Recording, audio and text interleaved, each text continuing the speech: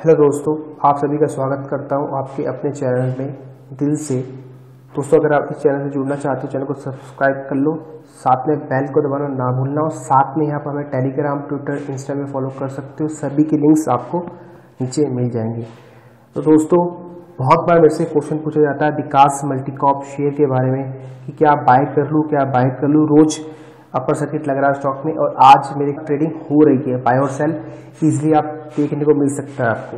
तो दोस्तों, मैं आपके साथ आज शेयर करूँगा मेरा एक पैटर्न ठीक है? बहुत लोगों को ये पैटर्न पता है विकास मल्टीकॉप शेयर के बारे में, ठीक है? बहुत क्लियर वर्डों में, बहुत लंबे समय से कह रहा हूँ छः साढ़े छः रुपये के आसपास वो पैटर्न बना था।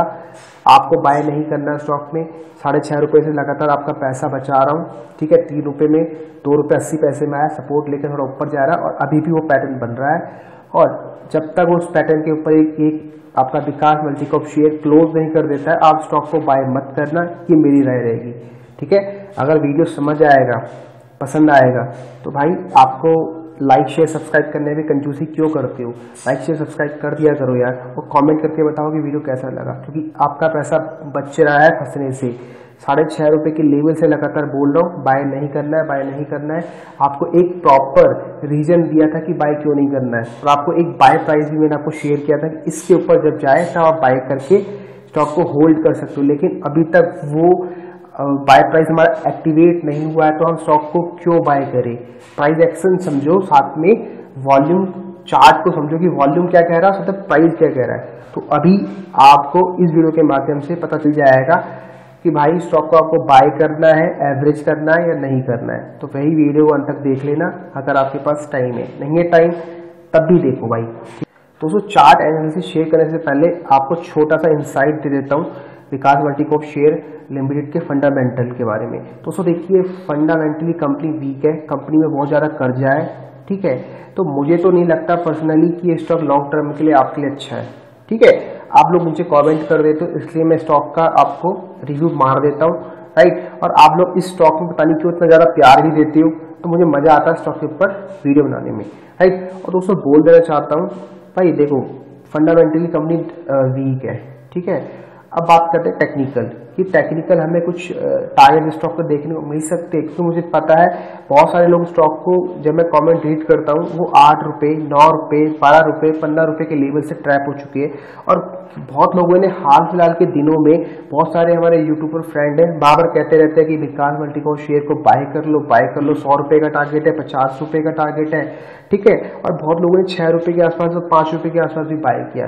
जब मैं आपको कह रहा था कि स्टॉक को आपको सेल करना है, बहुत सारे लोग आपको कह रहे थे कि आपको बाय करना है राइट तो मैंने आपको, देखो दोस्तों, आप कभी भी किसी को ब्लाइंडली फॉलो मत करो। आप उनके रिसर्च को देखो कि जो वो चीज़ें बोल रहे हैं, वो चीज़ें हो रही है।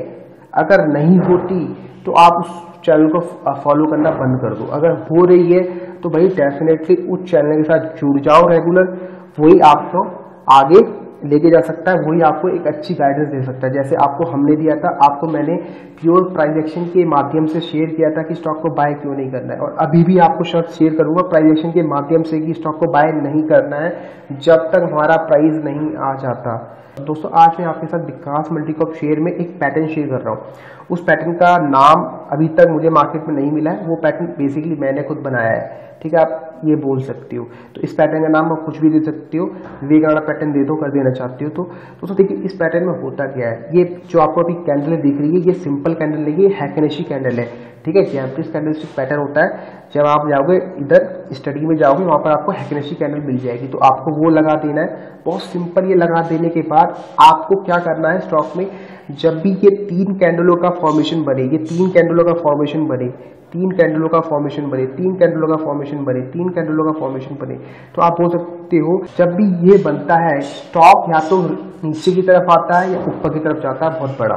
तो आप आप डिसाइड कर लो कि आपको कैसे इसको यूज़ करना है। तो इस स्टॉक में दोस्तों देखिए, जब भी ये पैटर्न ऊपर के लेवल से बनता है मतलब जब आपका आरएसआई आपका R S I overbought zone में होता है, जब भी ये पैटर्न बनता है तो समझ जाओ कि स्टॉक की लंका लगने वाली है। दोस्तों देखिए, लगातार ये ऊपर के लेवल से ये पैटर्न बना और वहाँ से लगातार ही गिर रहा है। इसी वजह से मैंने आपको कहा था कि स्टॉक को आपको बाय नहीं करना है, आपको वेट करना है। और दोस्तों देखिए लगातार जैसे इस पैटर्न पैटर्नों का ये स्टॉक हाई ब्रेक नहीं कर पाया। ठीक है, ये ब्रेक नहीं करा हाई नीचे गिर गया। ये ब्रेक नहीं किया नीचे गिर गया। ये ब्रेक नहीं कर पाया स्टॉक नीचे आ गया।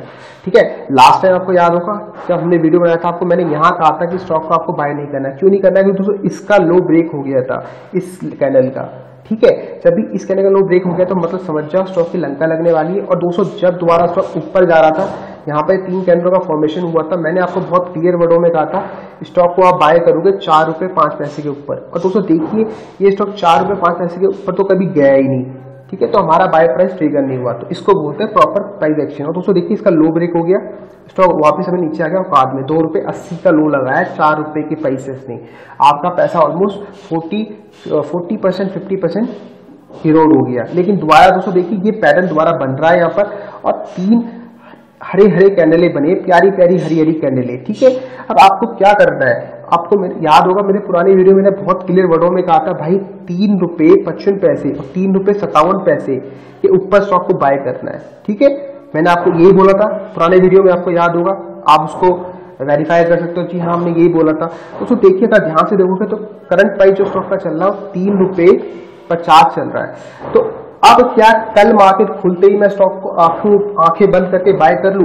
नहीं करना है। बिल्कुल भी नहीं बाय करना है विकास मल्टीकॉप शेयर को आँखें बंद करके। आपको वेट करना है। कल जब स्टॉक मार्केट खुलेगी मॉर्निंग में तो आपको एक दो घंटे, कम से कम मेरे हिसाब से साढ़े बारह बजे तक कल, साढ़े बारह बजे तक कल वेट करो और देखो कि क्या होता है। क्योंकि ये दोस्तों, जब तक ये ना तीन रुपए सत्तावन के ऊपर नहीं जाता है तीन रुपए सत्तावन पैसे के ऊपर नहीं जाता है। स्टॉक को बाय मत करना। ये मेरा मानना है। बाकी आप अपना सुझाव बता सकते हो कि आपका क्या मानना है। तीन कैंडलों का कल अगर हाई भी ब्रेक हो जाता है तो आप स्टॉक को बाय मत करना। आप वेट करना कम से कम साढ़े बारह बजे तक। अगर साढ़े बारह बजे के बाद स्टॉक आपको तीन रुपए सत्तावन पैसे के आसपास दिखता है उसके ऊपर दिखता है। ठीक है? तीन रुपए सत्तावन पैसे। तो आप स्टॉक को बाय कर सकते हो। लेकिन अगर ये स्टॉक साढ़े बारह बजे से पहले ही इसको जो मैंने आपको पहले बताया, क्या बताया मैंने? तीन रुपए सत्तावन पैसे को टैक्स करके नीचे आ जाता है। तो समझ जाना, ये स्टॉक अपनी औकात में दोबारा से नीचे के लेवल आपको दिखा देगा। लेकिन अगर ये स्टॉक तीन रुपए सत्तावन पैसे के ऊपर क्लोज कर देता है, अच्छे खासे वॉल्यूम के साथ तो आप स्टॉक को बाय करके चल सकते हो। आराम से बाय करो, कोई टेंशन नहीं है।